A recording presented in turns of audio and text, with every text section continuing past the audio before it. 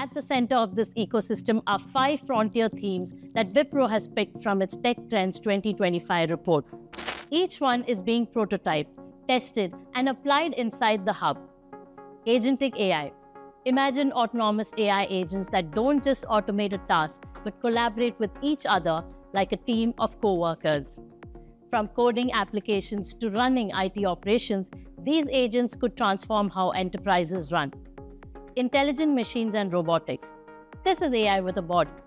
Think drones that can scan infrastructure and flag defects or autonomous vehicles capable of making real-time decisions. Machines that don't just respond, but understand and act.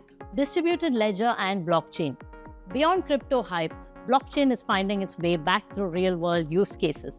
From DigiYatra in airports to asset tracking across global supply chains, the center is exploring how decentralized systems can create trust across industries. Quantum computing, one of the showstoppers of the tour.